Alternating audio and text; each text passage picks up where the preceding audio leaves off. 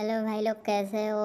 आप लोग का स्वागत है एक नए वीडियो में, ठीक है? तो आज यहाँ पर हम बात करेंगे फ्री में कॉड और यूजी का स्किन हम गोल्ड में कैसे ले सकते हैं, ठीक है?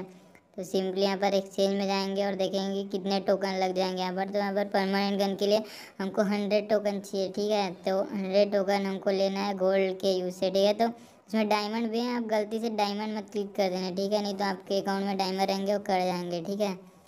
तो मैं पर कैरेट्स ले लूँगा, ठीक है? तो सबसे पहले मैं दस कैरेट ले लूँगा, ठीक है? कितने टोकन मिल जाते हैं इसमें देख लेते हैं हम लोग, क्या पता परमानेंट मिल जाए इसमें।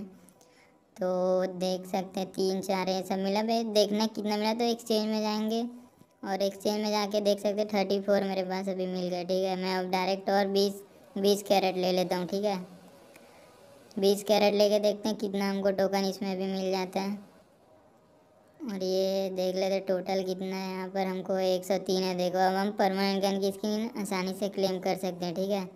ये देखो, मिल गया कॉट का स्किन ठीक है? अब आया था यूजी के।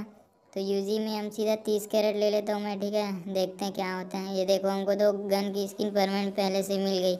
टोकन एक्सचेंज करना ही नहीं पड़ेगा, ठीक है? अब गाइस हम जानते हैं कि इसका एबिलिटी क्या क्या देख लेते हैं इसका गन का, ठीक है? वैसे फ्री में दोनों बहुत ही अच्छा गन लगा मेरे को तो। तो सबसे पहले मैं यूजी देख लेता हूँ यहाँ पर पिस्टल में जाके।